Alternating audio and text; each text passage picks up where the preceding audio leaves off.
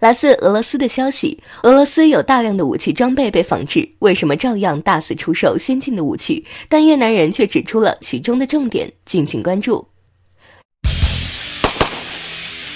近几年来，俄罗斯武器装备制造逐渐复苏，军火交易所占的市场份额有所增长。最典型的就是 S 四百防空导弹系统，以其优越的性能打破美国的封锁。就我国之后，土耳其、印度纷纷达成购买协议，乃至石油大国沙特也垂涎不已。苏三五战区也颇有斩获。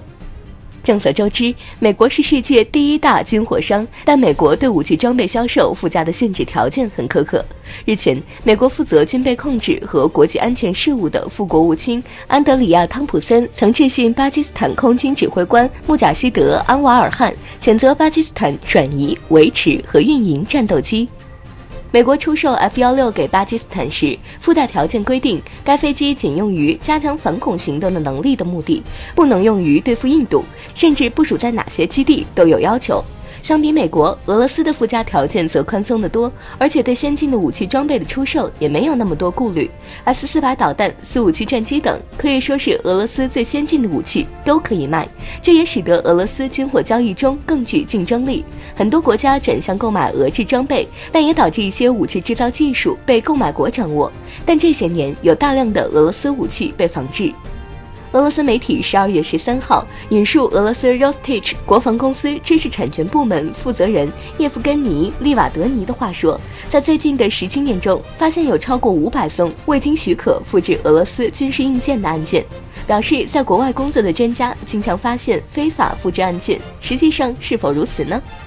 越南媒体对此消息进行了报道，并指出，美国雷神公司和英国 BAE 系统公司等这些主要的武器制造商，为保护其制造技术，会在国外进行专利注册。据悉，拥有五千多项专利，而俄罗斯制造商很奇怪，很少在国外注册专利。也就是说，使用这些技术并不违反法律。俄制武器装备之所以能突破美国的封锁，与这一点有很大关系。